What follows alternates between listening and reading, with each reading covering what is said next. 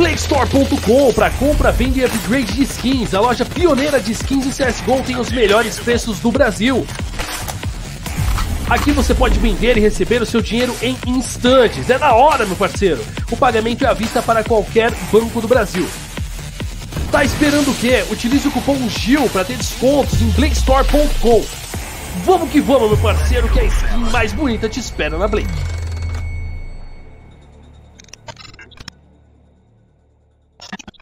Fala galera, aqui quem fala com vocês é o Gil, eu sou coach profissional de CSGO e estamos mais uma vez aqui no Pro Tricks, a série onde a gente mostra três jogadas de profissional que você consegue reproduzir de maneira muito fácil, né? Obviamente que é muito importante você chegar deixando o seu like, se inscrever no canal e obviamente ativar as notificações também para não perder nenhum conteúdo do Juseira, fechou? A gente tá fazendo sempre séries muito legais aqui, trazendo algumas dicas bem bacanas para que você consiga aumentar o seu nível de jogo e naturalmente a gente tenha um cenário mais competitivo e estarmos sempre um passo à frente daqueles adversários que não estudam game como nós. Fechou? Então vamos que vamos. Vou falar de, de forma resumida aqui como a gente vai fazer o, as três dicas de hoje, no caso, a gente tem um Pix CT de eco do Fnatic, que eu acho muito roubado. Muita gente faz isso aqui já, não é uma coisa muito nova, mas eu sei que pouquíssima gente tem noção e eu gosto particularmente de puxar bastante isso quando eu tô jogando um obinho por aqui e ali, porque isso às vezes ganha round. Fechou? Então a gente tem esse Pix CT na Dust 2 da equipe do Fnatic, a gente vai ter um, um pezinho no L da, do beat do Topa no, no, no mapa da Vertigo, né? Jogadores do Nave Juniors.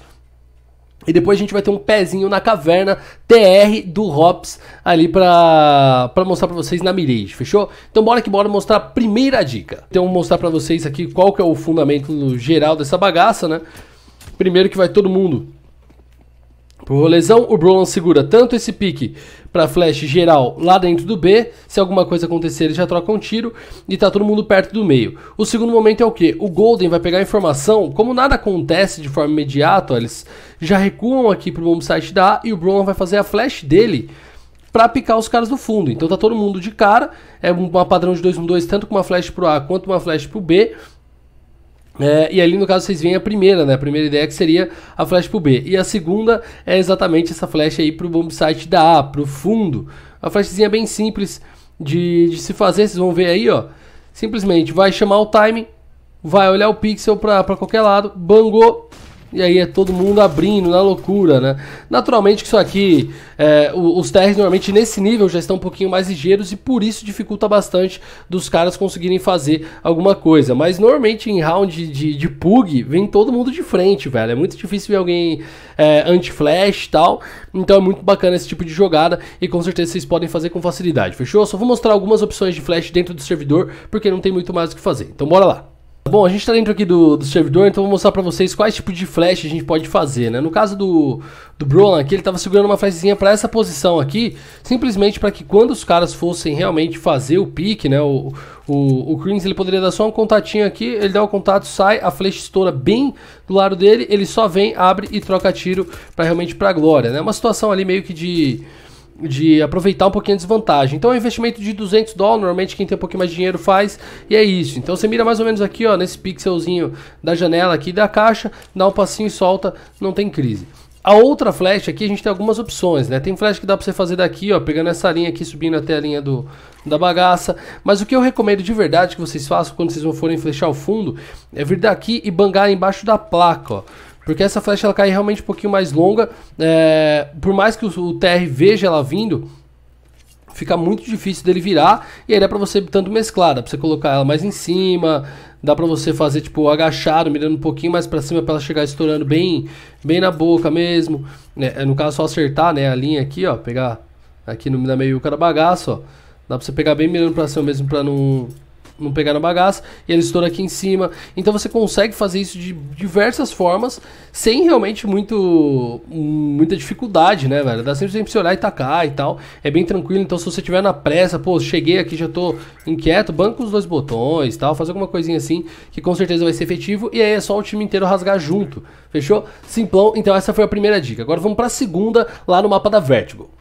Estamos aqui na Vertigo agora, só para quem lembra, na semana passada a gente mostrou um pezinho do Gospodarov aqui, né? No caso, é, que era o Gospodarov junto com, com outro brother lá, não lembro exatamente quem que era o Zé Ruela. Uh, que o Gospodarov era o jogador aqui, era o Gospodarov e eu acho que o Beat mesmo, né, no caso.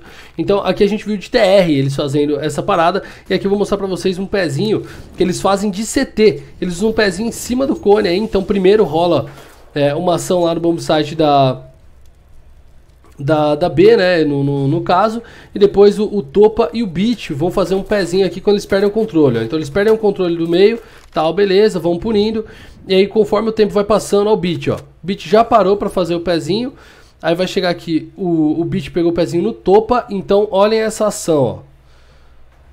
Olha, olha o jeito, né, o, o trejeito da bagaça. E ele tem uma visão muito sólida da parada, né, então...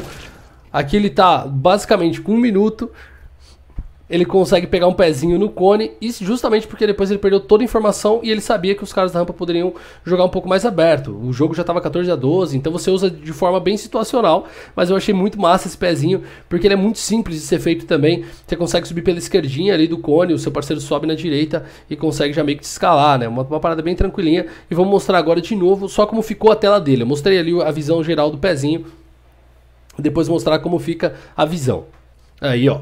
Então faz o seguinte, ó. Ele vai chegar no, no caso, na esquerdinha da bagaça. Ele tem que deixar espaço pro topa subir, senão não faz sentido, ó. O topa vai subir, aí o beat vai subir no topa, dá um outro pulinho, e aqui, como ele tem a smokezinha aqui, ó, ele tem smoke protegendo ele na direita, ele simplesmente pune o cara na, na rampa e depois eles conseguem se adaptar, ó. O She-Hall sabe que os caras estão no, no, pezinho e mesmo conseguindo a eliminação, eles estão à frente da, da informação. Então é uma parada bem sólida, muito da hora de, de ver isso acontecendo. E agora a gente vai mostrar no servidor como você pega os pixels para isso acontecer de forma bem tranquila, fechou? Então bora lá. Já coloquei o Botzane aqui na posição dele. E aqui, ó, basicamente, você vai subir no cantinho do cone e vai subir nesse cantinho para deixar, obviamente, espaço para o seu parceiro subir. Então o que você vai fazer? Primeiro você vai pedir para ele agachar. Ele agachou, você pode tanto ficar nessa posição mesmo e já, no caso, é, pedir, né, para ele levantar, tanto quanto você pode fazer esse aqui, lembrando que tem que ter smokezinha aqui, né, então...